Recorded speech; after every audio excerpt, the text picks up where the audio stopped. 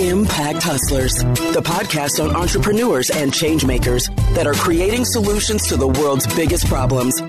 Impact Hustlers is brought to you by Fast Forward 2030 and Real Changers. Visit fastforward2030.com to learn how to include the global goals into your business model and realchangers.com to find talent and careers with impact. And this is your host, Maiko Schaffrath.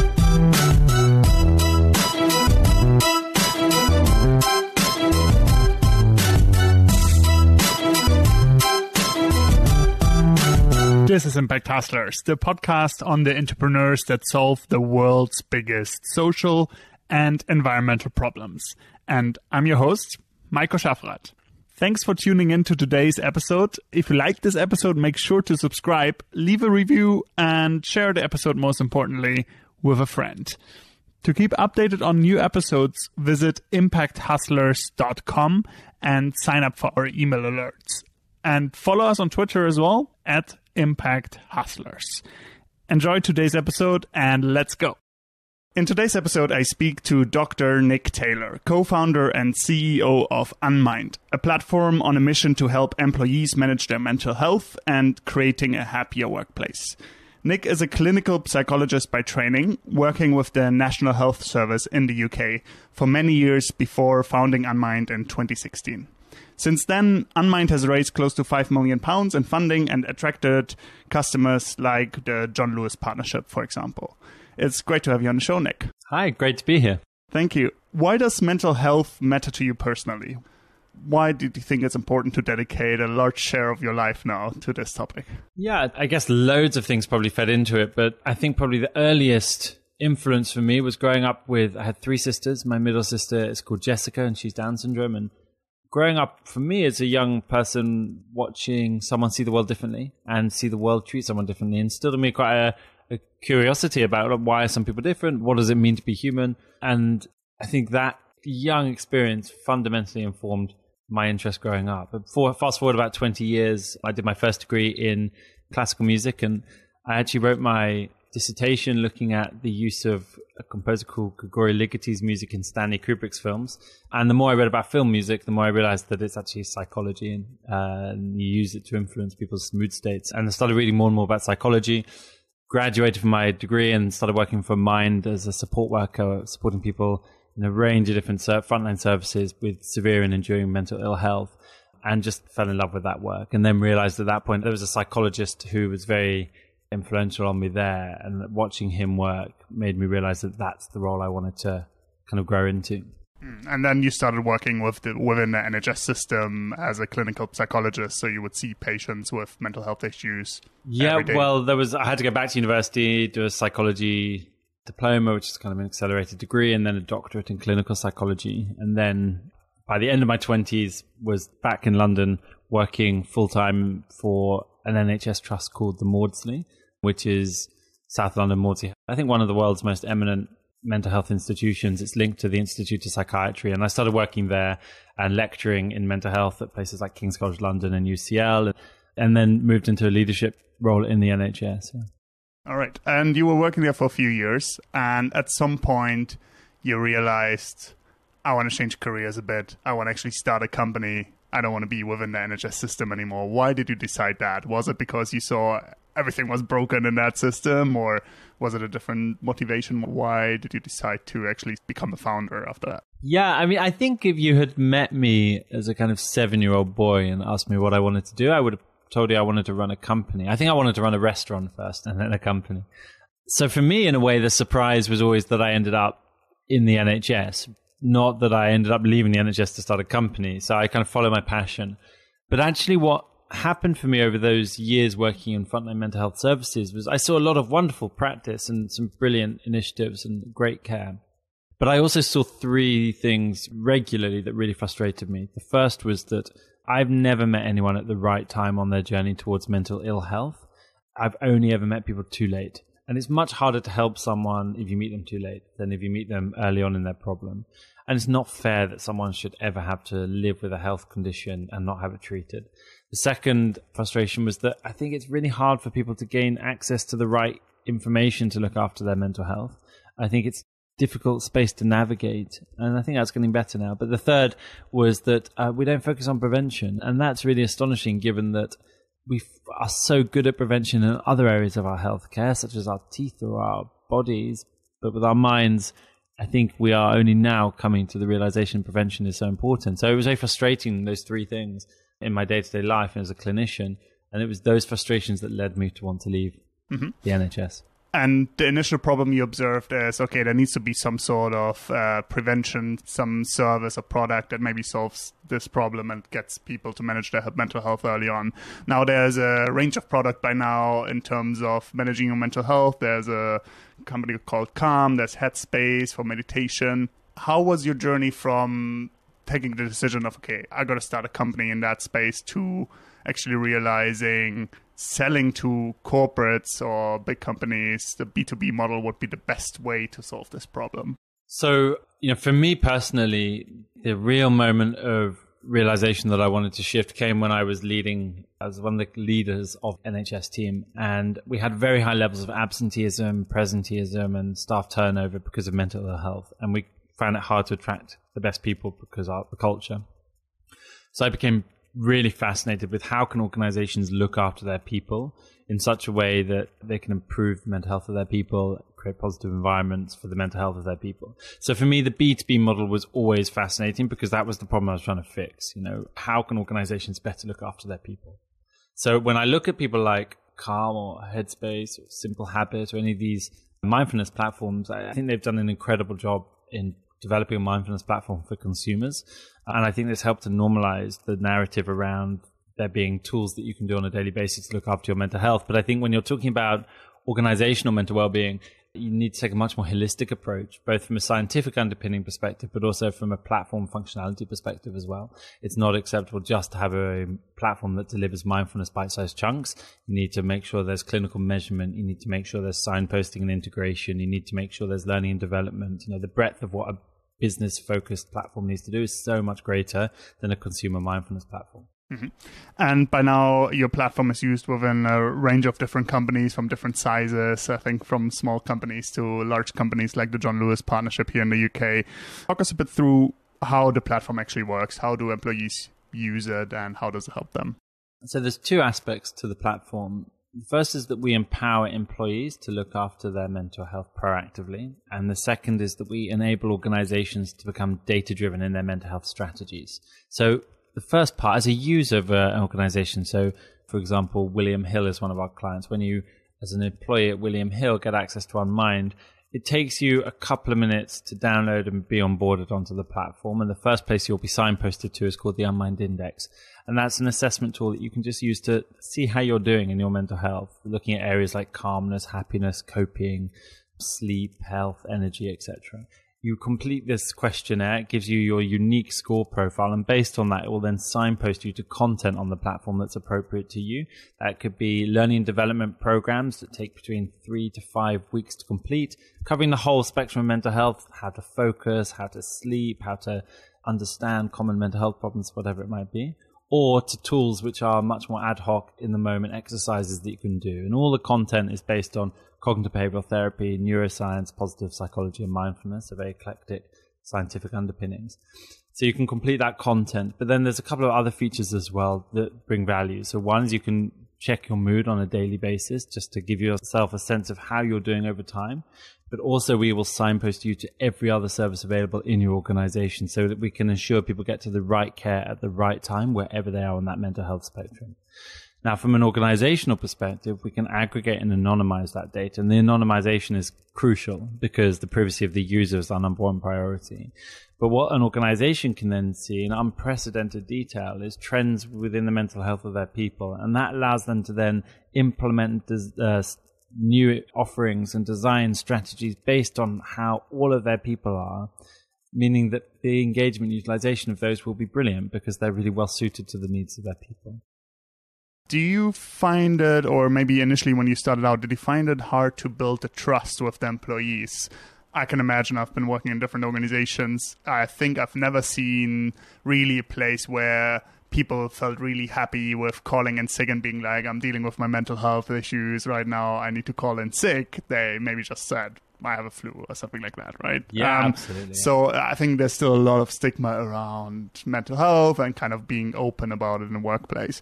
Um, did it take quite some effort to kind of try to build the trust of employees to actually put in their data essentially into a platform that you know the employer has some control over or like there might be the doubt that something might happen with the data right yeah, that's a great question. So it, there's a statistic in the UK that nine out of 10 employees won't tell their employer about their mental health. It really shows the level of anxiety people have about sharing that information. And sometimes rightly so, because there are real life examples of people being put in very difficult situations because they've shared stories about their mental health. And thankfully that is changing. We have never actually been asked questions by employees about their data or how we're treating it. And I think that is testament to the onboarding process. We make it extremely clear from day one that the privacy of their data is sacred. Sacred. yeah. No, sorry, too early in the morning. And that's our number one priority. So we go out of our way to make that point. I think also it comes down to our messaging around the platform as well. We put a lot of time and thought into the language that we use. Our client success team do a lot about the campaigns that we launch in companies. So hopefully when people come to the platform, they don't feel any anxiety around that because they are reassured from day one that actually data is very safe in that space. Mm-hmm. And then dealing with the problem of stigma around mental health more generally, how did you encounter that when building your product and talking to employers, did you find that that's still like a really big issue? And did that kind of hinder you of selling your product or did it help you? Like, how do you view the stigma around mental health? Yeah, I mean, the stigma is a fascinating subject. And I think for a long time, the conversation around mental health is focused on the kind of one in six people, the people who have mental health problems. And probably most articles that you read in the newspaper when it's related to mental health are about mental health problems. But the reality is, mental health is not something we only get when we have a problem. It's something we have from the moment we're born to the moment we die. For our entire life, we have mental health, and so too does everyone around us. And I think it's really important to recognize that and to start celebrating our mental health when it's good and recognizing all the unique ways in which it impacts on our life. By talking about mental health as something we all have all of the time, it helps to normalize the subject and helps to break the stigma.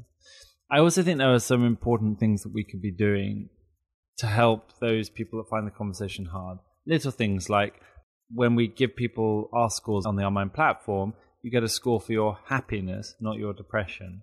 It's actually just the other word at the other end of the spectrum. So we can just use language really carefully to neutralize the subject a bit yeah, I think that's the main thing for us. That helps. Okay. Uh, what, was that a bit of a journey to come up with the right product to solve this? I mean, one thing is the science behind it, but then building it into a product that actually works. How do you go about that? Yeah, that's a great question. We're really lucky at Unmind to have an incredible team of people. I think as much as in his kind of traditional mental health services, you need a multidisciplinary teams called the MDT, which will be made up of psychiatrists, psychologists, nurses, nutritionists, physiotherapists, speech and language therapists, etc. I think in digital mental health, we need a multidisciplinary team 2.0. So, yes, the science is important. So, you need your clinicians and your academics. You also need your product designers. You need your engineers. You need your data scientists. You need your designers. You, know, you need a whole range of different people with their different lenses to bring the platform to life. So I think making sure the right team was in place, but then also really listening very carefully to what the companies were looking for, what the well-being groups within those companies were looking for, and making sure that as our product has evolved, it's done so on the feedback we've got from our users and from the companies that we're serving. I want to talk a bit about basically the problem a bit more. If we look at mental health, obviously it's a right thing to do to support people with their mental health and managing it. But especially with employers, there's also a business case for that, right? And I think when people go to your website, they can have a look at that, how the statistics actually work out for your organization based on your size. Talk us a bit through that. Like, what does mental health and the non management of it actually mean for employers? And what's the business case behind actually paying you some money to deal with that? Yeah, I think that's a very important point to make, which is that whilst for us we talk about mental health something we all have all of the time and therefore we should be proactively looking after it all of the time there is an aspirational aspect to our messaging, but the reality is the scale of the problem that we face is ginormous, and that is not an aspirational thing. There is a very, very real big problem here that is impacting on organizations on a daily basis that needs to be addressed. I think if you look at, for example, the Stevenson Farmer review that was published in 2017, that was underpinned by research from Deloitte, they showed that the cost to UK employers annually of mental ill health in the UK is 37 billion pounds. That's an enormous figure. This is a real cost the leading cause of absenteeism, presenteeism, and staff turnover is mental ill health. We know that this has a very bad impact on businesses. So the reason that organizations care is because they know that they have a real problem and they have to address that problem. But I actually think moving forwards, what I hope to see is that people coming into the workplace are going to vote with their feet and only go to work at organizations that are shown to, and known to care about their employees' well-being. Organizations have a responsibility to look after the well-being of their people, and I hope that moving forward, people coming into the workplace will only choose to work in organizations that do care. What are you competing with actually? If you sell to organizations, what they be using currently? Is there like nothing they're using, or is it maybe a more analog version of you know referring employees to coaches or counselors or so? What is it that you're up against when you? I think primarily there is a kind of gap, right, in terms of preventative, proactive solutions in mental health. If there is stuff going on in that space, traditionally it's face to face, which can be incredibly effective and engaging, but the reality is it's not scalable either from a practical perspective or from a cost perspective. In terms of the more reactive services, there's a selection of different things available, some good, some bad primarily, I think there was a real gap in a service that ensures that employees have the right care at the right time for their mental health. Amazing. I want to go back a bit to your founding journey. And we've had many entrepreneurs on this podcast, and anybody that listens to it knows that it's always hard to build any company, whatever problem you're solving. Um, so let's talk a bit about that. What's been like the hardest challenges that you had to overcome in, in the journey from the first idea to now having big clients using your platform? Oh my goodness. Yeah. I mean, what a journey. It's kind of one of the so many things you don't know when you start that it's probably quite important you don't know those things. I think there's been a lot of points when it's been really tough. I think the really early days, getting the first investment was really hard. Before product, when you just have an idea, and as a clinical psychologist, not like I've just come out of Harvard Business School. So I think getting people to engage and believe in the mission that we were on very early was a challenge. And I think also it's about be focused. I find that incredibly hard. There are so many wonderful, exciting things that you could pursue at any point in the journey. And it's making sure you pick your battles and you say, right, that's the priority. That's the priority. And, and then getting the wider team to have the right resources and processes in place to ensure that we as an organization are able to focus collectively on problems when they occur or challenges that we're working on. So those are, I think, early initial fundraising and the ensuring focus. Those are the two big challenges. What do you recommend to founders that are starting out and maybe struggle with the initial fundraise? Is it that they need to find angel investors that really deeply care about the mission that you're on, especially if you're kind of a mission-driven company that solves like a social or environmental problem? Or who are the people that are actually most likely to fund you in these early days? Who funded you in the end, uh, where most people didn't care enough to fund you, but then you got some funding eventually, right? Yeah, that's a really interesting question. And I think probably the type of investors that have come on at different points in the journey are quite distinct of one another. Very, very early on, the initial investment came from friends and family and people. So, really was a friends and family round.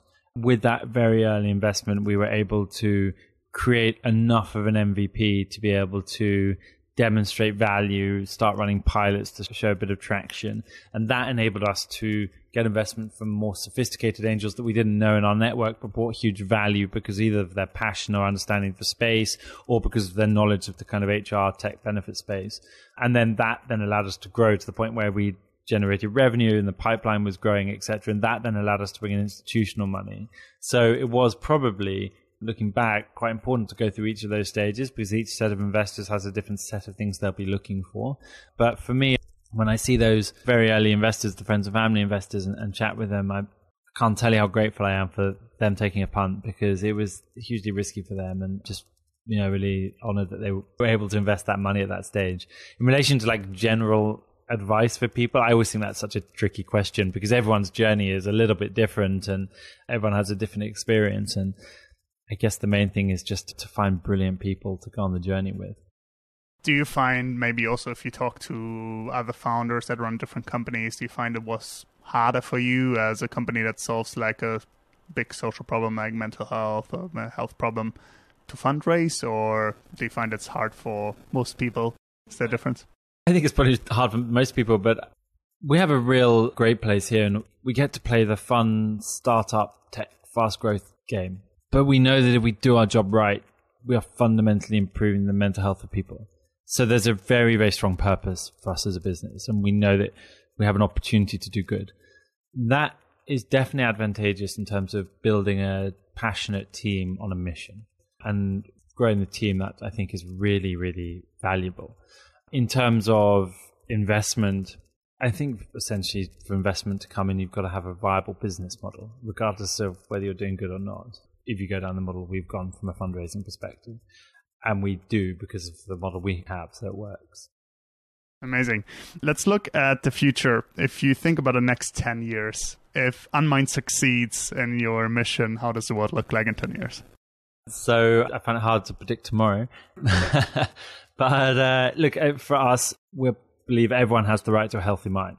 We have global ambitions to become the platform that is used by organizations around the world to ensure that all their people can get to the right care at the right time for their mental health, wherever they sit on the mental health spectrum.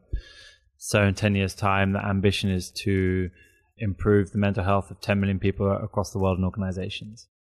Amazing. Thanks very much. It's great to see you on that mission, and I wish you all the best on that. Thank you so much. Thank you. Thanks for listening to today's episode. If you like this episode, make sure to subscribe, leave a review, and share the episode with a friend. To keep updated on new episodes, visit impacthustlers.com and sign up for our email alerts and also follow us on Twitter at Impact Hustlers. Thanks very much for tuning in and see you next week. This was Impact Hustlers, the podcast on entrepreneurs and changemakers that are creating solutions to the world's biggest problems. Impact Hustlers is brought to you by Fast Forward 2030 and Real Changers. Visit fastforward2030.com to learn how to include the global goals into your business model and realchangers.com to find talent and careers with impact.